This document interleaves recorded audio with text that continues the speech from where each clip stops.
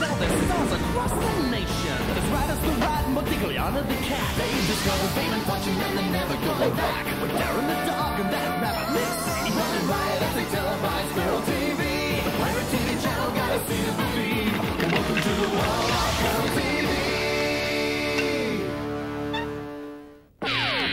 Go? Can I have a go? Not now, Derryn. We're rehearsing.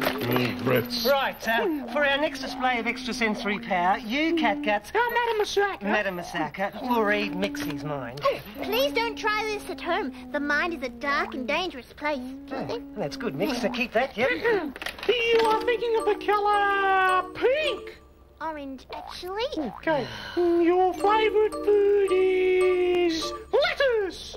Carrots. Everyone knows that, Catguts. All right, all right. You are thinking of the number three. No, Modigliana, four.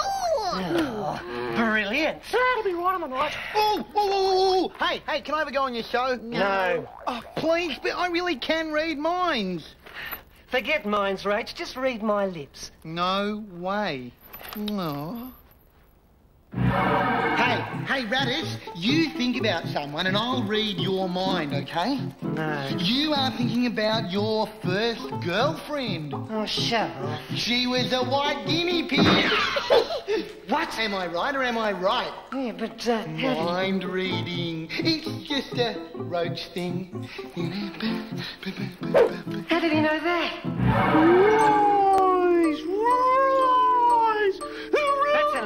Sorry. With her formidable feral mind force, Madame Masaka has lifted this rabbit up into the air and is holding her there. Spooky. Observe closely. No strings.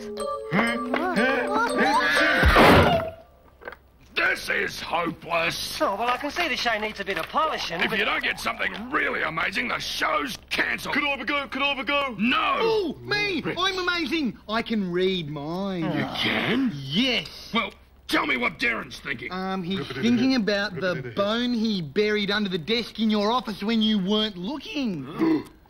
Yep. Wow, that is amazing. You're on. Derryn, in my office. Now. Hey, how do you know that? Reginald.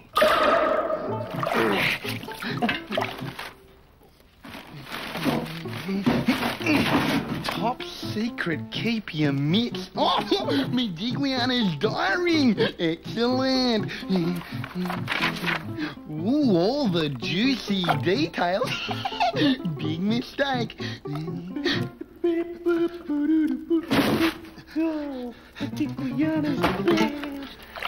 Big mistake, and you're gonna suffer. Who, me? No, that putrid, crawling, eavesdropping roach.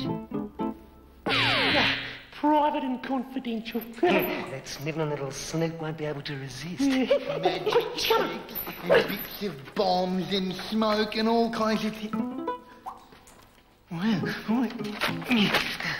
a poem by Kerry?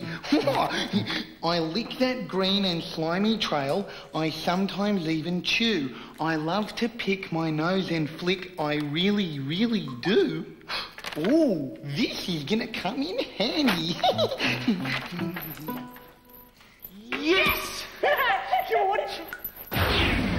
Without further ado, let me introduce Rodney the Remarkable, who will now read, um, somebody's mind. Yes, yes, thank you very much. There is somebody here from Toowoomba.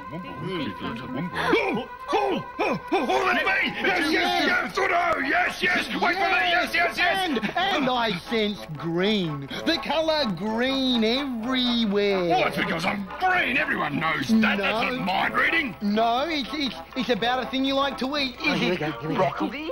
No, it's something more gluey. You're just guessing. No, I'm not, because you like to write poems about it, don't you?